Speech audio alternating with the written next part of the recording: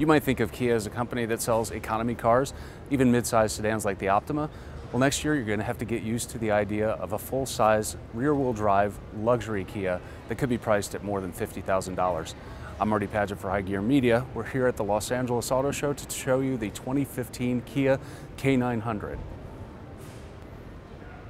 The K900 is part of a family of vehicles that includes Hyundai's Equus, but it's styled to look like the rest of the Kia family lineup. And down the side view, we think it has a little resemblance to Lexus's midsize sedans, but overall it's a very handsome look.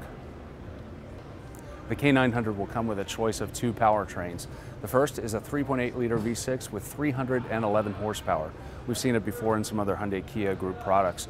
The upscale engine is a 420 horsepower V8, and we think that's going to be good for 0 to 60 times of about six and a half seconds.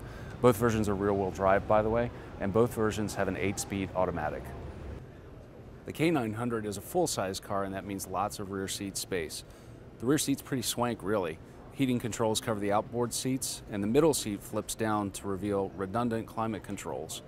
On the V8, you can even have rear seat ventilation, reclining seat backs, and power lumbar adjustment.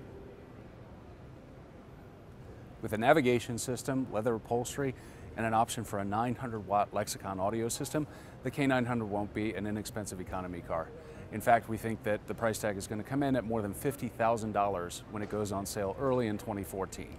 I'm Marty Padgett for High Gear Media. Thanks for joining us.